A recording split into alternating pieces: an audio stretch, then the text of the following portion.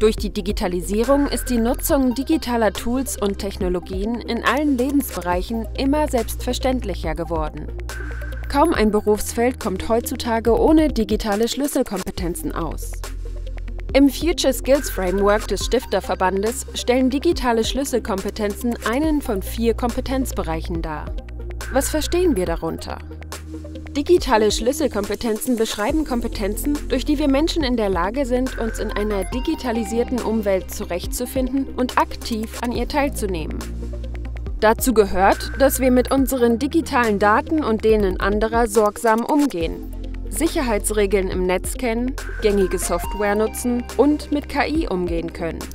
Besonders die Covid-19-Pandemie und der Launch von ChatGPT haben gezeigt, wie wichtig diese Kompetenzen für das Berufsleben und die gesellschaftliche Teilhabe sind. Außerdem sollten wir digitale Informationen kritisch hinterfragen, uns der Auswirkungen des eigenen Handelns im digitalen Raum bewusst sein und bei Entscheidungen stets ethische Aspekte berücksichtigen. Über gängige Online-Kanäle und unabhängig von räumlicher Nähe sollten wir effizient miteinander interagieren, kollaborieren und kommunizieren können. Als lebenslang Lernende sollten wir uns gezielt Wissen aus verschiedenen digitalen Quellen aneignen können. Damit bilden wir uns informell sowie unabhängig von Raum und Zeit kontinuierlich weiter. Quellen können neben Online-Nachschlagewerken auch Online-Kurse, Podcasts, Artikel oder Videos sein.